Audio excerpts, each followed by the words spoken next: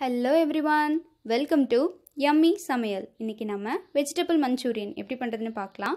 நான் vegetable Manchurian பண்ணுறதுக்காக ஒரு கப் அளவுக்கு கேரட் ஒரு கப் அளவுக்கு முட்டைக்கோஸ் ஒரு கப் அளவுக்கு உருளைக்கிழங்கு அடுத்ததாக ஒரு கப் அளவுக்கு பீன்ஸ் காரத்துக்காக ஒரு பச்சை மிளகா அரை ஸ்பூன் அளவுக்கு இஞ்சி அரை ஸ்பூன் அளவுக்கு மிளகுத்தூள் கொஞ்சமாக உப்பு.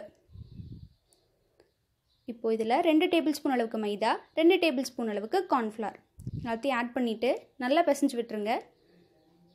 நீங்கள் தண்ணி எதுவும் சேர்க்க தேவையில்லை. நம்ம காய்கறியில் இருக்க ஈரப்பதமே போதுமானது. நல்லா கலந்துட்டு உருண்டை பிடிச்சி பாருங்கள் கரெக்டாக உங்களுக்கு உருண்டை பால் ஷேப்பில் கரெக்டாக வந்துருச்சுன்னா நீங்கள் எதுவும் பண்ண தேவையில்லை. ஒருவேளை வரலை அப்படின்னா கொஞ்சமாக மாவு சேர்த்துக்கோங்க. இந்த மாதிரி வரணும். நம்ம மீதி இருக்க மாவையும் நல்லா பால் ஷேப் உருட்டி வச்சிடலாம். இப்போ இதையே சூடான எண்ணெயில் போட்டு பொறிச்சு எடுத்துடலாம். நீங்கள் பொரிக்கும்போது அடுப்பை மீடியம் டு ஹை அந்த மாதிரி ஃப்ளேமில் வச்சுக்கோங்க. நல்லா ப்ரௌன் ஆனதும் வெளியே எடுத்துடலாம். இன்னொரு சூடான பேனில் ஒரு ஸ்பூன் அளவுக்கு எண்ணெய் பத்து பல் அளவுக்கு பூண்டு ஒரு ஸ்பூன் அளவுக்கு இஞ்சி பாதி பெரிய வெங்காயம் அரைக்கப்பளவுக்கு குடமிளகா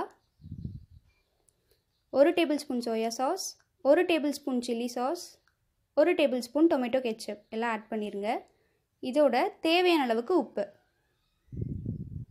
இப்போ நம்ம கிரேவிக்காக அரைக்கப் அளவுக்கு தண்ணி. தண்ணி நல்லா கொதித்து திக்கானதும் நம்ம பொறிச்சு வச்சுருக்க பால்ஸை இதில் ஆட் பண்ணிடலாம்.